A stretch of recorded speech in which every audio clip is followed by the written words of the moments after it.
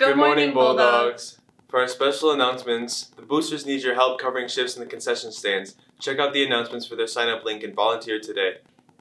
Gritton is hosting a two day Writers Expo in April, and we are looking for students interested in showcasing their work. This could be anything from a short story to a song and everything in between. So if you have writing you want to share, reach out to Miss Jones in the curriculum office or talk to your English teacher about getting signed up. For clubs and activities, you have books? Support the freshman class council by donating books for Bernie's book drive.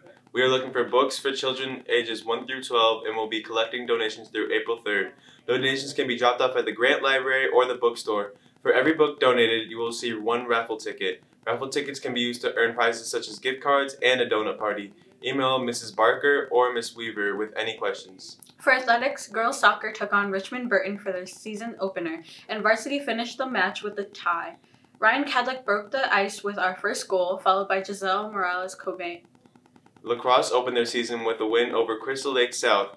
Matthew Wormowski and Tyler Fleming worked hard to get points on the board as Pride Mendoza dominated the full field and Jack Henry shut out the Gators in the second half. Badminton opened in Elgin High School over the weekend and brought home multiple champions. Congratulations to our doubles team made up of Vanessa Pendle and Alyssa Song, Reagan Wagner and Angela Martinez, and to Laura Jimenez for earning first in singles. This week they went up against Zion Benton. Varsity took down the ZBs 12 to 3 and JV won 12, 13 to 2. Boys volleyball traveled to Lake Zurich for their season opener. Varsity fought hard but fell a few points short of the win. On Wednesday, the program traveled to Huntley and our JV and varsity teams both brought up wins. Baseball took on Woodstock North and came away with another varsity win. Not only did they add another win to their record, but they also shut out the Thunderbirds. Keep it up, Bulldogs. Spring may have just started, but Cheer is already prepping for the fall. If you are interested in joining the Co-Ed Legacy, check out their April and May open gyms before tryouts start on May 10th.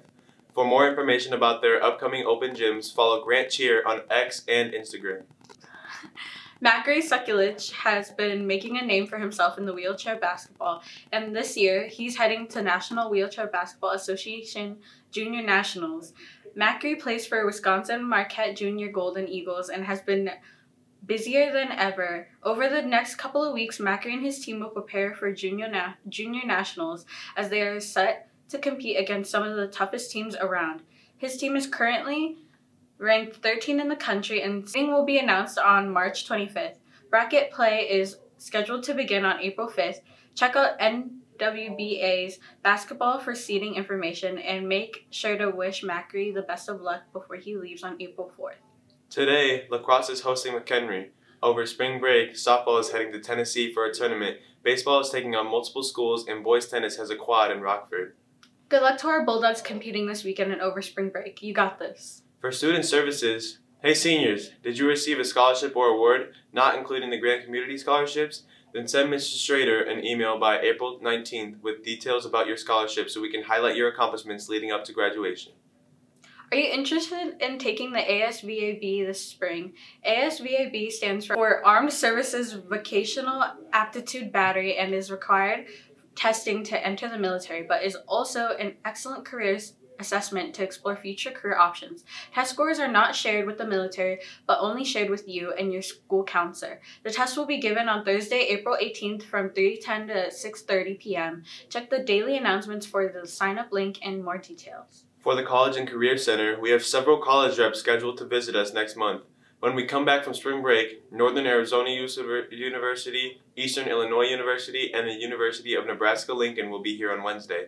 National Louis University, Northern Michigan University, and Southern Illinois University Edwardsville will be on campus on Thursday. Check out the College and Career Center for a full list of college rep visits and sign up in Squire to attend. This week's career highlight is all about chiropractors. Did you know the average salary for chiropractors is around $75,000 and the field is projected to grow by 9%? If you're interested in becoming a chiropractor and need help with post high school planning, reach out to Mrs. Missouri. Before we sign off, we wanted to remind you that we are off next week for spring break. After today, we will see you all back in the building on Monday, April 1st. And no, that's not a joke. Also, we are getting closer to the third quarter Bulldog Buck drawing. Juniors and seniors, this means free prom tickets will be up for grabs soon. Keep an eye on the TVs for more information on the drawing, and remember that every Bulldog buck turned in this year will be included in the drawing too. Well, that's all from us this week. Have a great day, enjoy your spring break, and remember to keep it red, Bulldogs.